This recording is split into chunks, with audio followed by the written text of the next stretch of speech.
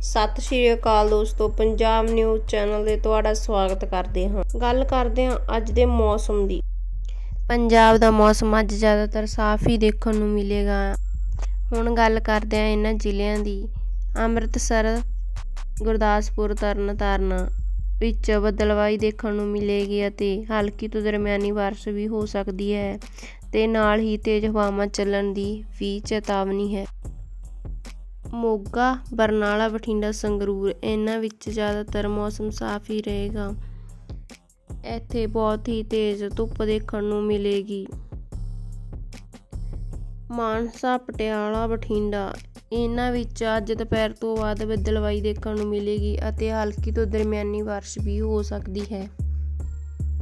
ਐਵੇਂ ਦੀ ਹੋਰ ਵੀਡੀਓ ਦੇਖਣ ਲਈ ਸਾਡੇ ਚੈਨਲ ਨੂੰ ਕਰੋ ਸਬਸਕ੍ਰਾਈਬ ਅਤੇ ਕਮੈਂਟਾਂ ਵਿੱਚ ਆਪਣੇ ਜ਼ਿਲ੍ਹੇ ਦਾ ਨਾਮ ਲਿਖਣਾ ਨਾ ਭੁੱਲਣਾ।